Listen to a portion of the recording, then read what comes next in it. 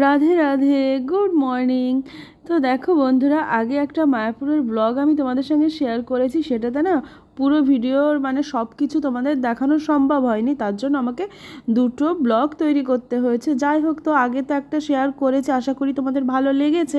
আর next এটাতে দেখবে যে মায়াপুরে সবাই কেমন প্রেমের জোয়ারে সেদিন ভেসে গেছিলাম। তো পুরো ভিডিওটা দেখতে থাকো, পুরোটাই বুঝতে পারবে। তো যাই হোক, এই যে যাচ্ছি প্রায় কাছাকাছি এসেই গেছি, আর এত বকবক করছিলাম আর গাড়িতে গান বাজছিল, ওই জন্য বকবকানিটা পুরো মিউট করতে হয়েছে। আর আমি যদি বকবক না করি, তোমাদের দাদাভাই কী করে এনার্জি পাবে গাড়ি চালানোর? তো ওই জন্য আমি বেশি কথা বলি আর ও বেশ বলে যে হ্যাঁ তুমি গল্প করে যাও। আর এদিকে আবার গানও চলে, এক একটা প্রসঙ্গ আসে। সারাদিন বাড়িতে তো দুজনের কথা বেশি একটা হয় না।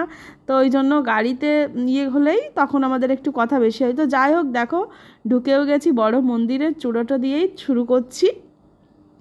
তো দূর থেকেই আমাদের এই বড় মন্দিরটা দেখা যায়। আর তখনই যেদিনই মায়াপুর যাই, ওই দূর থেকে যখনই মন্দিরের চূড়াটা দেখতে পাই, তখনই মনটা কি সুন্দর আনন্দে ভরে ওঠে। এটা আমার কিন্তু হয়। তোমাদের হয় কি না সেটা কিন্তু জানিও। তো যাই হোক, এই যে দেখো, এই পার্কটাতে প্রথমেই চলে গেছি। তো গিয়ে এই যে আমার গোপুসোনাকে নিয়ে একটু ঘুরে ঘুরে দেখাচ্ছি। আর চারিদিকে এই যে ফুলগুলো ফুটে আছে, ওখানে একটু সময় বসেও ছিলাম।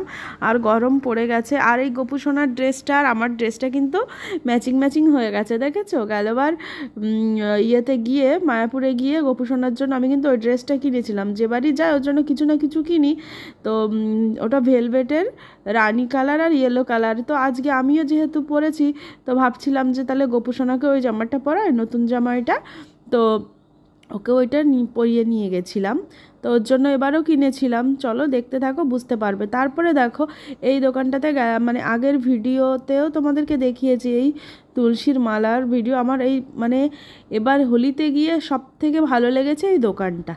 মানে এত সুন্দর, ওখানে ঘুরে আবার এসেছিলাম একটা মালা নেওয়ার জন্য। আর যারা দূরের বন্ধু আমার মানে তারা হয়তো অনেক দিন বাদে বাদে মায়াপুর আসো, তাদেরকে একবার দেখিয়ে দিলাম। বড় মন্দিরটা দেখো কত সুন্দর।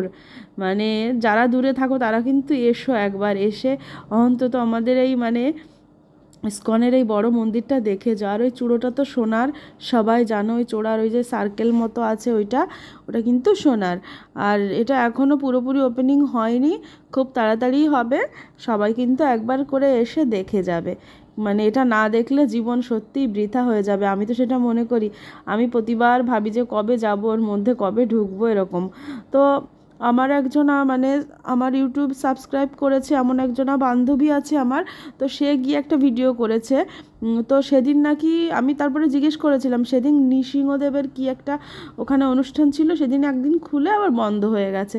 তো ওই জন্য দেখা হয়নি। তারপরে দেখো, এখানে একটা ফল হয়েছিল, তো আমার কাছে খুব ভালো লাগছিল ফলগুলো, কত সুন্দর সুন্দর, দেখো ওখানে বড় বড় কুলের মতো হয়ে আছে। তো ওখানে ওই ফলগুলো আমার খুব ভালো লাগছে। তোমাদের দাদাভাইকে বললাম, একটা ছবি তুলে দাও তো। তো পুরো ভিডিওটা করে তোমাদেরকেও দেখার সুযোগ করে দিয়েছে। তো যাই হোক, দেখো, এই যে তোমাদের আগের মিনি ব্লগেও দেখিয়েছি, এই মানে এই দোকানের ওই মুক্তোর মালা আর কানের কেনার। প্রথমে জানো এই যে বড় বড় মুক্তো, তোমাদের দাদাভাই খুব পছন্দ করে। তো দীঘা থেকে তিন চারটে নিয়ে এসছে মানে তিন চারটেরও বেশি মানে কাছে যারা যারা মা, বাবা, ভাই, বোন, সবাইকে আমরা একটা করে দিয়েছি আংটি বানানোর জন্য। তো রেখে দিয়েছে সবাই, কেউ কেউ বানিয়েছে, আবার আমরাও বানিয়েছি।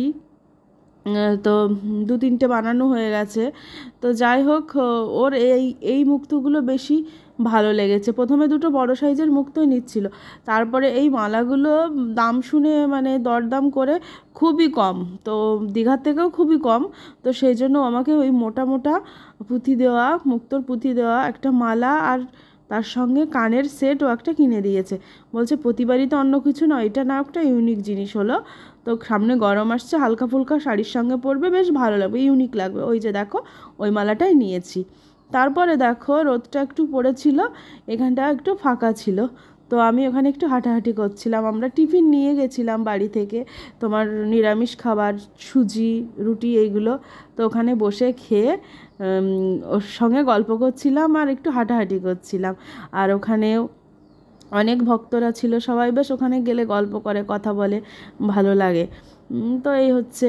আর ওই যে, ওই পাশের যে বড় ঘরটা দেখছ, হোলি যেহেতু সারা দিন কৃষ্ণ নাম হচ্ছিল ওখানে।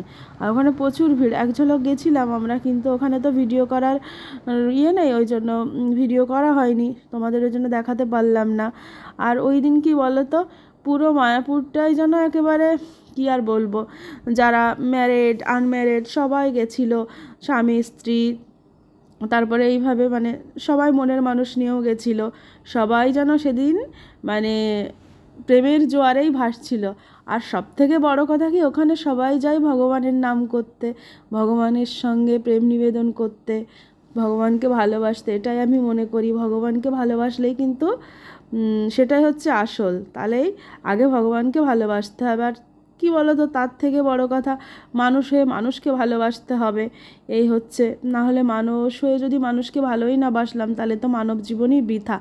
আমি সেটা মনে করি। শুধু মানুষ নয় যে কোনো জীবকেই সেটা ভালোবাসতে হবে। আর আমরা তো সবাই তো ভগবানকে পেতে চাই, ডাকি, মন মন দিয়ে। কজনার মানে মানে তিনি কজনার ডাকে আর সাড়া দেন, সেই জন্য মন দিয়ে ভক্তি ভরে ডাকতে হবে এটাই আমি মনে করি। তো আমি তো দেখো, পারি না, খুবই ব্যস্ততার সঙ্গে থাকি মানে সংসার, এদিক সব কিছু সামলাতে হয় একা একা, বা পুরো দুটো সংসার মানে কি বলতো, কল্যাণীতে থাকলে একবার, আবার শ্বশুরবাড়িতে এলে একবার, তার মধ্যে দিয়ে যতটা সম্ভব আমার কৃষ্ণকে সময় দেওয়ার চেষ্টা করি, তাকে আপ্রাণ চেষ্টা করি মানে তাকে একটু সময় দিই, সেবা যত্ন করি। যাই হোক, কি তো বিশ্বাসী সব আমি মনে করি। মানে ঠাকুরকে মন দিয়ে ডাকবে, তার ডাকে মানে নিজের উপর বিশ্বাস, ভরসা এগুলো রাখবে। দেখবে ঠিক কোনো কাজ মানে মন দিয়ে যদি ভগবানকে ডাকা হয়, সেটা সত্যিই পূর্ণ হয়। আমার সঙ্গে কিন্তু হয়েছে।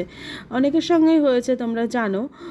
যাদের ঘরে গোপাল আছে, আর কি বলো তো আমি মনে করি মানে কোনো কিছু নিষ্ঠার সঙ্গে সৎভাবে তুমি যদি করো, আর সঙ্গে কিন্তু ভগবানকে ডাকতে হবে, তাহলে সেটা নিশ্চয়ই একদম সাকসেস হওয়া যাবে।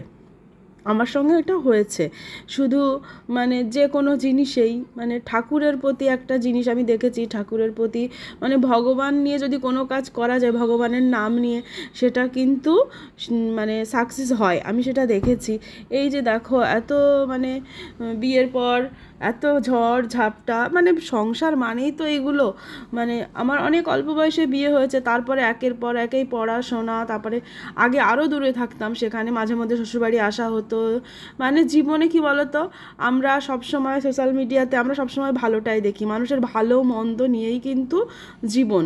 তো এর মধ্যে আমি আমার ভগবান সব সময় এখন আমার গোপাল এসে দু বছর হলো আমার কাছে, তার আগে কিন্তু গোপাল না থাকলেও আমি খুব পুজো করতে ভালোবাসি মানে ভগবানের প্রতি খুব বিশ্বাসী আমি।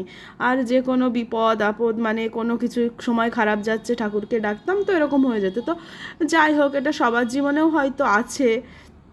তো আমাদের ভালো, মন্দ সব কিছু নিয়েই চলতে হয়, এটাই তো আমাদের জীবন না? কোনো সময় ভালো যাবে তো, কোনো সময় খারাপ যাবে। আর ভালোর পরে খারাপ আসে, খারাপের পর আবার ভালো আসে। আর কি বলো তো অনেক অল্প বয়সে বিয়ে হয়েছে আর তোমাদের দাদা ভাইও কিন্তু খুব ঠাকুর ভক্ত। তো ওর কাছ থেকে আমার জীবনের যা কিছু ভালো শিক্ষা, সব কিছু বেশিরভাগ মা বাবার কাছ থেকে শিখে এসেছি যেটুকু, সেটুকু তো তো বিশাল আকার। কিন্তু বিয়ের পরে ওর কাছ থেকে আমি অনেক কিছু শিখেছি। যাই হোক, দেখো, এখানে গিয়ে কিন্তু প্রতিবার গিয়ে আমি কিন্তু একশো আটবার ভগবান কৃষ্ণের নাম করি। তো বাড়িতে হয় না ঠিকঠাক, কিন্তু এখানে গিয়ে একবার হয় হয়। তো আজকের ভিডিওটা এই পর্যন্তই। ততক্ষণে সবাই ভালো থেকো, সুস্থ থেকো। রাধে রাধে।